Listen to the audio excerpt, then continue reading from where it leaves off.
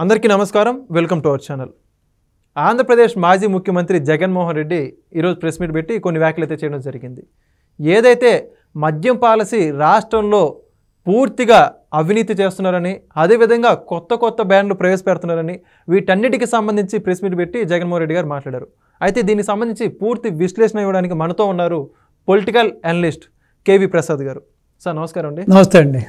Sir అసలుకి మద్యం అంటే గడిచిన ఐదు సంవత్సరాలు రాష్ట్రంలో ఏ విధంగా కుంభకోణం జరిగిందో రాష్ట్ర ప్రజలందరూ కూడా చూశారు కొత్త కొత్త బ్రాండ్లు అవన్నీ కూడా. అయితే జగన్మోహన్ రెడ్డి గారు ఈరోజు ప్రెస్ మీట్ పెట్టి మాట్లాడుతూ రాష్ట్రంలో కొత్త కొత్త బ్రాండ్లన్నీ కూడా తీసుకొచ్చారు.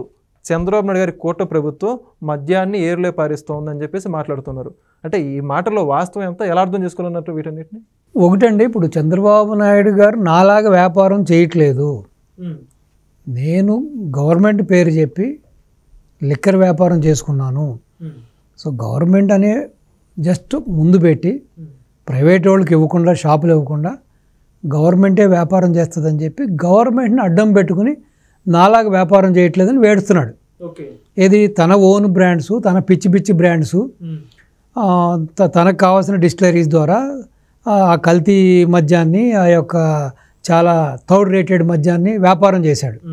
సో ఎవ్వరికి తట్టని థాట్ ఇది అంటే ప్రపంచంలో ఉన్న ఏ రాజకీయ నాయకుడికి కూడా తట్టని థాట్ ఇది శాండ్ కానీ ల్యాండ్ కానీ వైన్ కానీ మైన్ కానీ ఏ వ్యాపారం చేసినా కూడా ఎవ్వరికి అసలు ఏ రాజకీయ నాయకుడికి అందని ఐడియాస్ ఇతనికి అందాయి. ఓకే. సో పూర్తిగా తన కోసం తన స్వార్థం కోసం తన వ్యాపారం కోసం ఇవన్నిటిని ఉపయోగించుకున్నాడు అదే లిక్కర్ని కూడా అలాగే చేశాడు తను. సో లిక్కర్ కూడా మీరు చూస్తే ప్ర దేశవ్యాప్తంగా మొత్తం ఎక్కడ చూసినా ఒక బజ్జీలు అమ్ముకునేవాడు కాడి నుంచి అరటిపళ్ళు అమ్ముకునేవాడు కాడి నుంచి చిన్న చిన్న చిరు వ్యాపారుల దగ్గర నుంచి కూడా ప్రతి వాళ్ళు కూడా గుండు సూది కాడి నుంచి విమానం అమ్మేవాడు వరకు కూడా డిజిటల్ పేమెంట్స్ని ఆస్పెక్ట్ చేస్తుంటే ఈ వ్యక్తి మాత్రం పూర్తిగా దానికి భిన్నంగా ఒక క్రెడిట్ కార్డ్ లేదు డెబిట్ కార్డ్ లేదు ఒక యూపీఐ పేమెంట్ లేదు గూగుల్ పే లేదు పేటిఎం లేదు. పూర్తిగా క్యాష్ అండ్ క్యారీ చేసి మీరు చూశారు. ఈవెన్ పురంధేశ్వరి గారు వైజాగ్ వెళ్ళి వైజాగ్లో ఒక షాపులో చెక్ చేసినప్పుడు ఆడు అక్కడ ఉన్న వ్యక్తి ఆ క్షణానికి లక్ష రూపాయల వ్యాపారం చేస్తే కేవలం వాడు ఎనిమిది వందలు తొమ్మిది వందలు వైట్ చూపించాడు వాడు. Bill bill payment. అంటే మిగతా ఆ యొక్క తొంభై తొమ్మిది వేల రెండు వందల రూపాయలు అంబక్కు. అది మొత్తం. జగ జగన్ మాయ అది సో జగన్మోహన్ రెడ్డికి జే ట్యాక్స్ కింద వెళ్ళిపోతుంది ఆ విధంగా ఈ ఐదు సంవత్సరాల్లో ఎన్ని వేల కోట్లు కొట్టేశాడో యూ కెన్ ఇమాజిన్. ఇది కాకుండా బాహటంగానే ఇప్పుడున్న డిస్టిలరీ వాళ్ళు అందరూ కూడా ఇప్పుడు ప్రభుత్వం మారగానే మాట్లాడుకుంటున్నారు. డిస్టిలరీ వాళ్ళు మాట్లాడుకుంటున్నారు బ్రేవరీసీలో ఆ కార్పొరేషన్లో ఉన్న అధికారులు మాట్లాడుకుంటున్నారు.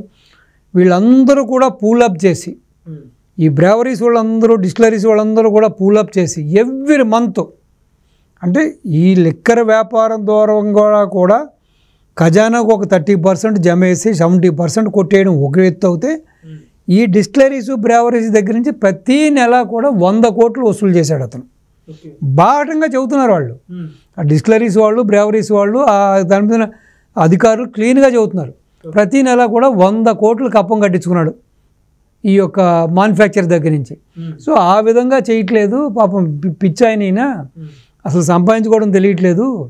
సో నా దగ్గరికి వస్తే నేను ఐడియాలు చెబుతాను కదా ఎలా లెక్కర వ్యాపారం చేయాలి ఎలాగ మన సొంత బ్రాండ్ని వ్యాపారం చేయాలి ఎలాగా ఈ యొక్క పనికిమాలిన సరుకుని అమ్మి జనాల్ని ఎలా పిచ్చోళ్ళు చేయాలి మెంటల్గా చేయాలి ఎలాగ వాళ్ళ లివరు వాళ్ళ కిడ్నీలు వాళ్ళ హార్ట్ లంగ్స్ శరీరం అంతా కూడా ఏ విధంగా సర్వనాశనం అయిపోవాలి వాళ్ళకి ఏ విధంగా వాళ్ళ యొక్క ఆస్తులు పోగొట్టుకోవాలి ఏ విధంగా ఆరోగ్యాలు పోగొట్టుకోవాలి ఈయనకి తెలియట్లేదు ఎందుకు ఇంత క్వాలిటీ మద్యం అమ్ముతాడు ఎందుకు ఇంత మంచి బ్రాండ్స్ అమ్ముతాడు అని చెప్పి అది అతను ఏడుపు.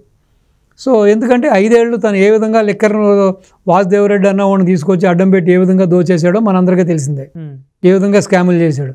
సో అది అతనికి ఏడుపు కానీ అంతకుమించి ఏడుపు లేదు. అయ్యో చంద్రబాబు నాయుడు గారు నన్ను అనుసరించండి. నా లిక్కర్ పాలసీని అనుసరించండి.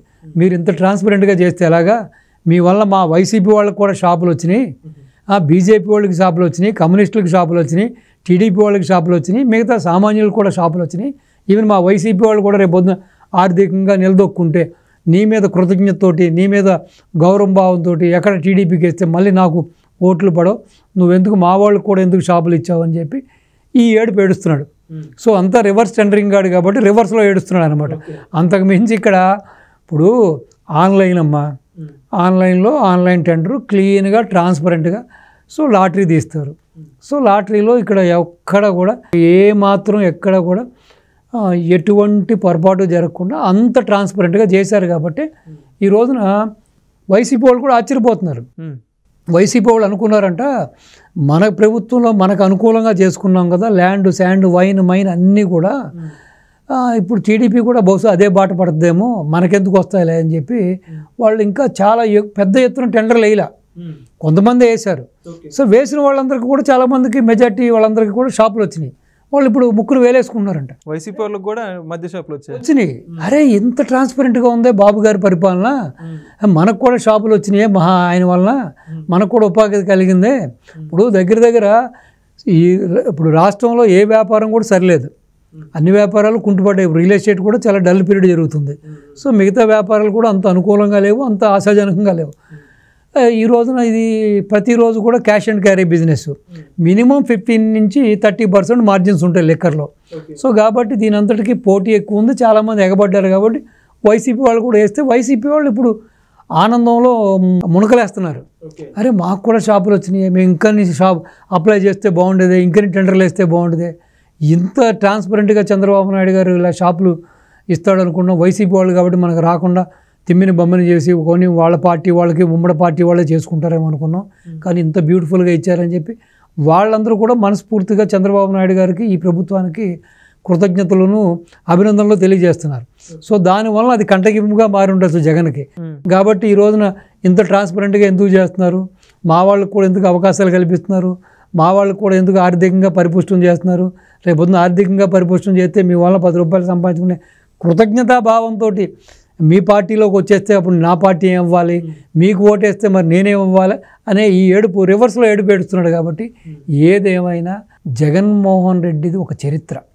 అంటే ఒక కేస్ స్టడీ ఇంతవరకు ప్రపంచంలో ఎవ్వడు చేయలేని తొగ్గులక పనులు ఎవ్వడు చేయలేనంత అవినీతి ఎవ్వడు చేయలేని దుర్మార్గాలు అక్రమాలు భూ కబ్జాలు అవినీతి. ప్రతి స్కీమ్ పేరుతోటి స్కామ్లే చేశాడు కానీ ఎప్పుడు ఈ విధంగా నడుచుకోలేదు.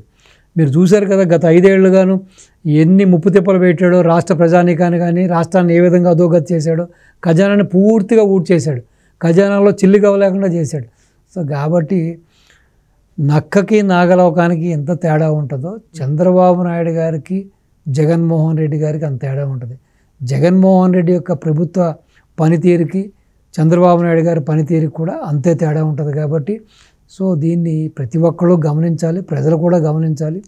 డెఫినెట్గా ఇక వాళ్ళ భావితరాలు బాగుండాలనుకుంటే వాళ్ళు బాగుండాలనుకుంటే రాష్ట్ర శ్రేయస్సు కోరుకుంటే జగన్మోహన్ రెడ్డి అనేవాడిని రాజకీయంగా భూస్థాపితం చేయాలి. జగన్మోహన్ రెడ్డి అనేవాడికి ఇంకొక ఛాన్స్ లేకుండా చేయాలి. అప్పుడే ఈ రాష్ట్రం బాగుంటుంది. ఈ విధంగా ఆన్ అండ్ ఆఫ్ అధికారం ఇస్తూ పూర్తిగా భ్రష్టు పట్టిపోయినప్పుడు ఏదో ఒక సినిమాలో చెబుతాడు బ్రహ్మానందం. ఆలి గురువుగారు మళ్ళీ మీరు ఎప్పుడు నాకు కనిపిస్తారంటే నువ్వు సర్వనాశనం అయిపోయి పూర్తిగా నిర్వీర్యమైనప్పుడు మళ్ళీ నేను రెస్క్యూ రెస్క్యూ చేస్తానికి వస్తా అంటాడు. ఈ ఆంధ్ర ప్రజానికి కూడా అలాగే తయారయ్యారు. పూర్తిగా సర్వనాశనం అయిపోయి చేతులు కాలిన తర్వాత ఆకులు పట్టినట్టుగా అన్ని వ్యవస్థలు భ్రష్టు పట్టిపోయిన తర్వాత ఉద్యోగ అవకాశాలు పోయి ఉపాధి అవకాశాలు పోయి ఆర్థికంగా నష్టపోయి రాష్ట్రం వెనకంజి వెళ్ళిపోయి సర్వనాశనం అయిపోయిన తర్వాత మళ్ళీ బాబు గారు గుర్తొస్తారు. బాబు గారు ఓట్లు. మళ్ళీ ఈయన స్క్రాచ్ నుంచి మళ్ళీ కింద నుంచి పునాదుల నుంచి మళ్ళీ దాన్ని బిల్డ్ చేయడానికి ఎంత టైం పడుతుంది ఎంత శ్రమ అది ఎంత భగీరథ యత్నం కంటే కూడా చాలా కఠినమైన శ్రమ అది. ఇప్పటికైనా ప్రజలు నిజాన్ని తెలుసుకుని బాబు గారు లాంటి ఒక విజనరీ లీడర్కి అక్కడున్న ప్రిజనరీ లీడర్కి ఒక వ్యత్యాసాన్ని చూసుకుని ఈ టార్చ్ బ్యారర్ లాంటి బాబు గారికి కంటిన్యూస్గా అధికారం ఇస్తే డెఫినెట్గా ఆంధ్ర మరో స్విట్జర్లాండ్ సింగపూర్గా మారడానికి అత్యధిక అవకాశాలు ఉన్నాయి కాబట్టి ఆ దిశగా ప్రజలు ఆలోచించాలని జగన్మోహన్ రెడ్డి ఏదైతే ఈ రోజుకి చంకలు కొట్టుకుంటూ రొమ్ములు విరుచుకుంటూ నాకు ఇంకా పార్టీ పర్సెంట్ ఉంటుందన్నాడు ఆ పార్టీ పర్సెంట్ కూడా కులాన్ని మతాన్ని చూడకుండా కులం పేరుతో కుట్రలో మోసాలు చేసే జగన్మోహన్ రెడ్డిని నమ్మకుండా ఆ మతం పేరుతో మోసాలు మాయలు చేసే జగన్మోహన్ రెడ్డిని నమ్మకుండా ఇటువంటి నాయకుడి బాటలో నడవాలని ఇటువంటి నాయకుడి ఫుడ్ స్టెప్స్ని ఫాలో అవ్వాలని ఫాలో అవుతేనే రాష్ట్రానికి మేలు జరుగుతుందని వాళ్ళకి మేలు జరుగుతుందని వాళ్ళకి వాళ్ళ భావితరాలకి ఒక భవిష్యత్తు బాగుంటుందని. కాబట్టి ఈ ఆ దిశగా ఆలోచన చేయాలని ఆంధ్ర ప్రజానీకానికి నా విజ్ఞప్తి నా మనవి. ధన్యవాదాలు సార్. నమస్తే అండి.